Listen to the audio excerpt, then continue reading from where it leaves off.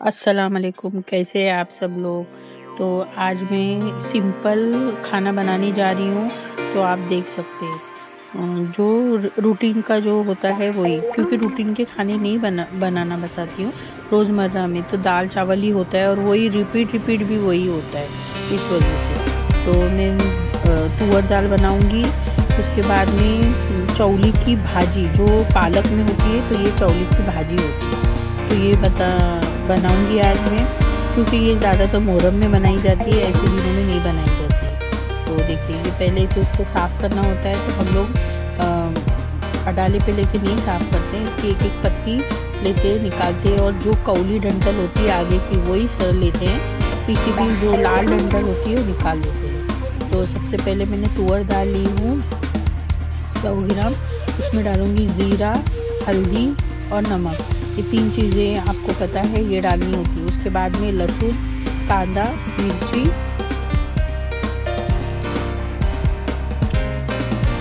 ये चम्मच से डाला क्योंकि डालते हुए थोड़ा बता ही नहीं इस वजह से। तो देखिए, कांदा टमाटर, लहसुन और मिर्ची भी उबलने के लिए डाल दिया और इसको कुकर लगा के आपके हिसाब से आप तीन मारिए, चार मारिए, जितने आपको मारने उतने और हमेशा बोला है, कुकर का ढक्कन लगाने से पहले हमेशा मिक्स करना और फिर ही कुकर का ढक्कन लगाना, कोई भी चीज़ आप पकाना चाहते हो तो। उसके बाद में ये बघार का है तो बघार में भी आपको पता है तुअर दाल में ज़ीरा लगता है, राई लगती है, मिर्ची, अदरक, लहसुन लगता है। तो ये सारी बघार की चीज़ें हो गई, ये देखिए, उबल गई मेरी दाल।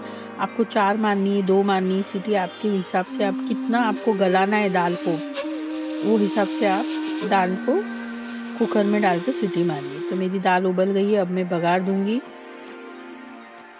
थोड़ी थोड़ी तबीयत ठीक नहीं रहने की वजह से आगे पीछे वो डाल सकती डालती हूँ, फिर मोबाइल का प्रॉब्लम है, फिर चार्जर का भी प्रॉब्लम हो जाता है तो अभी चार्जर तो मेरी सिस्टर ने मुझे ला के दी है, इस वजह से तो देख सकते हैं। तो ये रहा, ये बघार, जब तक बघार नहीं पूरी तरीके से फ्राई होगा, मैं नहीं डालूँगी दाल, यही रीज़न है, क्योंकि दाल जब तक दाल का फ्राई जो फ्राई करने के लिए रखा है, बघार देने के लिए। वो जब तक फ्राई अच्छा नहीं होता, तब तक हमको बघार नहीं देना है। सबकी ज़िंदगी में कुछ ना कुछ प्रॉब्लम्स होते हैं, सारे लोग फेस करते हैं। तो मेरा भी अपनी पर्सनल कुछ प्रॉब्लम है, जिसकी वजह से फेस कर रही हूँ, तबीयत ठीक नहीं रहती है। अभी तो थोड़ी ठीक है पहले से बेहतर है, अल्लाह का शुक्र है।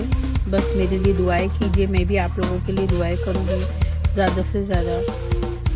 और थोड़ा वेज का खाना खाना पसंद है, इस वजह से वेज खाना बनाती हूँ, मगर रोज़ का रूटीन अगर बना, डालूँगी तो पता नहीं आप लोगों को अच्छा लगेगा, नहीं लगेगा। रीज़न है कि मैं रोज़ वटाने बनाती हूँ, ज़्यादातर वटाने, क्योंकि सीज़न है और तुअर दाल और तो ही बनता है तो ऑलरेडी मैं तुअर दाल की रेसिपी डाल चुकी हूँ तो मैं बार बार तुअर दाल की रेसिपी डालूँगी तो अच्छा नहीं लगेगा, इस वजह से। तुअर दाल, मसूर दाल, अक्का मसूर होता है तो देख सकते अच्छे से फ्राई हो गया है और थोड़ा फ्राई करेंगे, क्योंकि जैसी ही दाल डालूँगी ना, ये जितना फ्राई का वो है ना, वो सब दाल में एरोमा आ जाएगा।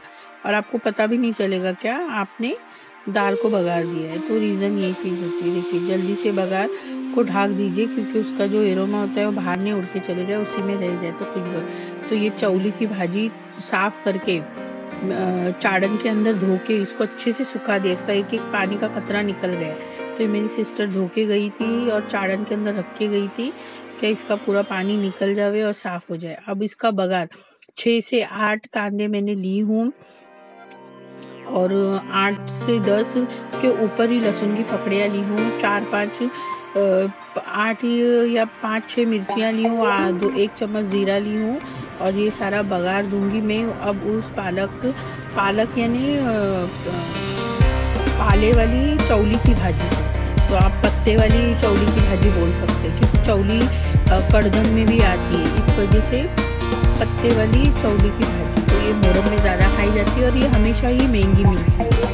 आपको कभी भी कोई भी सीज़न में इसको लेने जाओ, आपको ये महँगी ही मिलेगी और ये खाने को बहुत टेस्टी लगती है। तो देखिए, मेरे आधे से ज़्यादा डिक्ची भर गई है कांदे से, जो कांदा मैं आपको बता दूँ। अब ये कांदा आधा हो जाएगा जैसे फ्राई हो। जाएगा तो हमको पिंक करना है। इसको गला ले, गलाना है। इसको पकाना मतलब फ्राई नहीं करना है। तो सिर्फ़ इसको गलाना है कांदे को और पिंक करना है। तो बहुत अच्छे से हम इसको फ्राई करेंगे।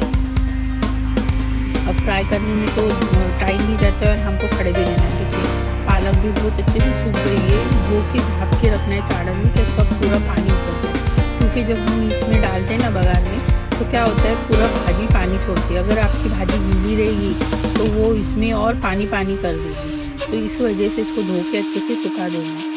तो जिसने जो किया है, वो मैंने बता दिया। कि मैंने साफ़ करके रखी थी? तो मेरी सिस्टर चाड़न के अंदर अच्छे से धो के रख के चली गई। तो जो के बहुत अच्छे से हो गई है भाजी। तो फिर मैं इसको अभी ये कांदे में बघारूँगी तो रीज़न है कि इसको पहले कांदे को तो देखिए कहाँ कांदा अभी आपको दिख रहा है, नीचे की डेगची दिखने को, लगने को चालू हो गई। तो इतना अच्छा कांदा फ्राई हो गया है और पिंकिश हो गया है। तो जब पूरा कांदा अच्छे से फ्राई हो जाएगा और पिंक हो जाएगा और जितनी भरी हुई डेगची थी, वो पूरी अभी आपको खाली लगेगी देखिए तो ऐसा मामला है। इसके लिए कांदा जितना भी इस्तेमाल करो, खाने पकाने वाले जो है, उनको पता है कांदा हमेशा आधा हो तभी फुल डेगची भरी हुई थी कांदा दिख नहीं रहा ये सभी लोग शौक से खाते हैं भाई, हमारे घर और इसको ज़्यादा से ज़्यादा खिचड़ी के साथ खाए तो और मज़ा आता है। तो मैं थोड़ा भूल गई खिचड़ी बनाना तो और दाल बना दी और चावल बना दी फिर बाद में याद आया कि खिचड़ी बनाना तो और मज़ा आता खाने तो ऐसी चीज़ें हो जाती है रोज़मर्रा की ज़िंदगी में। तो कोई अगले टाइम बना लूँगी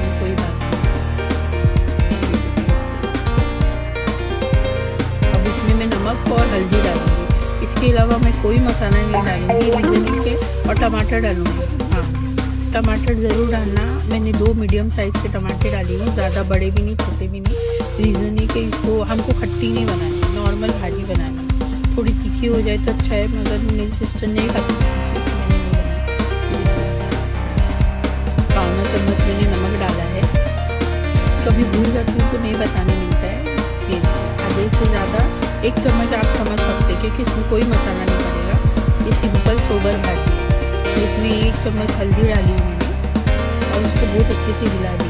अब इसमें थोड़ी थोड़ी करके भाजी डाली और जब भाजी डालेंगे तो भले ही देखिए धो के सूख गई है भाजी। मगर जैसे ही मिर्ची के अंदर जाएगी, ये पानी छोड़ना शुरू कर तो देखिए, पूरी सूखी भाजी है।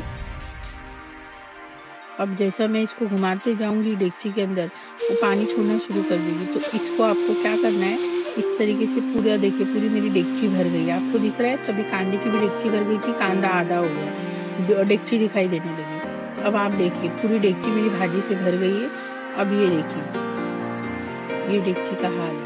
अब इसको है ना, जितनी बार भी आप गर्म करते जाएँगे उतनी बार बारीक आँच पे गर्म करते जाना को गर्म करते जाना है और भाजी को घुमा घुमा के इस तरीके से झाँप के रखना है। जब तक उसका अंदर का पानी सूख नहीं जाए और भाजी तेल नहीं छोड़े। देखिए, ये अंदर जो है ना आपको ऐसा दिखेंगे, थोड़ा गर्म होते हुए ऐसा बुड़बुड़े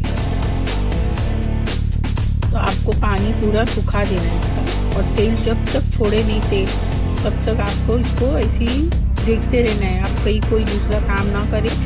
इसी पे ध्यान रखिए कि कहीं आपकी इतनी मेहनत बेकार नहीं जाए भाजी साफ़ करने वाले को पता होता है, इतनी मेहनत करने वाले को पता होता है। तो भाजी साफ़ भी करके और इतना सारा कांदा काट के उसको बहुत अच्छे से पकाना आसान नहीं है। तो इस तरीके से अब कहीं छोड़ के नहीं जाना है बारीक काट के भी कहीं जल नहीं जाओगे क्योंकि इसको देखते रहना है और इसको ढाकते ही रहना है, क्योंकि इसका जो फिर से बोलूँ जब भी जो भी खाने का एरोमा होता है वो उसी के अंदर होए तो खाने का बहुत अच्छा आ, बहुत अच्छा खाने के लिए लगता है। देखिए मैं आपको दिखा रही हूँ। ये जैसा ही पानी ऐसा सूखते जाएगा ना तो खाने के लिए बहुत अच्छा लगेगा। तो इसी रीज़न से जब तक वो पानी पूरा सुखा नहीं देती आग गैस की आँच तब तक हमको इसी तरीके से थोड़ी थोड़ी देर से हिलाते रहना है। और पास आँच पे ज़रा भी नहीं रखिए नहीं तो आपका मतलब जो भी खाना पका रहे हो आपका नुकसान भी सब चीज़ें पास आँच पे नहीं रखिए ये मेरा हो गया है, जो मैंने आपको बता दिया है। तो इस तरीके से तुअर दाल मैंने बताई और पालक की चौली की भाजी बताई। पालक की भाजी की चौली। तो हमने तुअर दाल चावल के साथ, चावल सभी को बनाने आता है। तो देखिए, ये मेरा खाना आपको कैसा लगा ज़रूर बताना। मेरे चैनल को लाइक कीजिए सब्सक्राइब कीजिए। ये कोकणी लोगों का सिंपल सादा रोटी नहीं बनाई इसके लिए पाव के साथ चौली की भाजी खा ली। लाइक कीजिए सब्सक्राइब कीजिए चैनल देखने के लिए बहुत बहुत थैंक यू।